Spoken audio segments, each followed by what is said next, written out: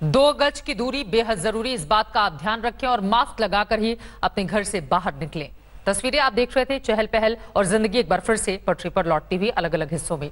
उधर प्रधानमंत्री नरेंद्र मोदी की अध्यक्षता में आज हुई मंत्रिमंडल की बैठक में कई महत्वपूर्ण फैसले लिए गए हैं, जिसमें कठिन दौर से गुजर रहे छोटे और मंझोले उद्योगों को दुरुस्त करने के लिए लोन के प्रस्ताव को मंजूरी दी गई है। वहीं किसानों को राहत पहुँचाने के लिए सरकार ने चौदह फ़सलों के समर्थन मूल्य को बढ़ा दिया है।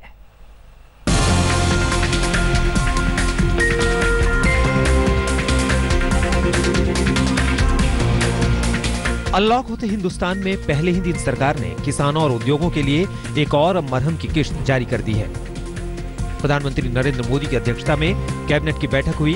किसानों, छोटे और मंझोले उद्योगों को लेकर कई बड़े फैसले लिए गए हैं। सबसे पहले बात अन्नदाताओं की। सरकार ने फैसला लिया है कि तीन लाख तक के लोन पर ब्याज दर में दो फ़ीसदी की छूट दी जाएगी। इसके साथ ही खरीफ की चौदह फ़सलों का न्यूनतम समर्थन मूल्य डेढ़ गुना बढ़ा दिया गया है। इकतीस अगस्त तक लोन चुकाने वाले किसानों को चार फ़ीसदी ब्याज ही देनी होगी। कृषि लागत एवं मूल्य आयोग की जो रिकमेंडेशन है, चौदह फ़सलों के लिए वो आ गई हैं। मंत्रिपरिषद के समक्ष विचाराधीन थी और आज मंत्रिपरिषद ने उनको अपनी स्वीकृति प्रदान कर दी है।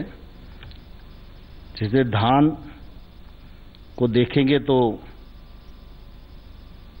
लागत का 50 प्रतिशत अधिक मुनाफे को ध्यान में रखते हुए अठारह सौ अड़सठ यह घोषित की गई है। लॉकडाउन के बीच बुरी तरह प्रभावित हुए छोटे और मंझोले उद्योगों को उबारने के लिए सरकार बड़े पैकेज के साथ सामने आई है। कमज़ोर उद्योगों को उबारने के लिए चार हज़ार करोड़ का फंड। एमएसएमई के छोटे सेक्टर में टर्नओवर सीमा 50 करोड़। मज़बूत एमएसएमई के 15 फ़ीसदी इक्विटी खरीदने की योजना। नितिन गडकरी ने कहा कि एमएसएमई की मजबूती से निर्यात बढ़ेगा। 25 लाख एमएसएमई के पुनर्गठन की उम्मीद है।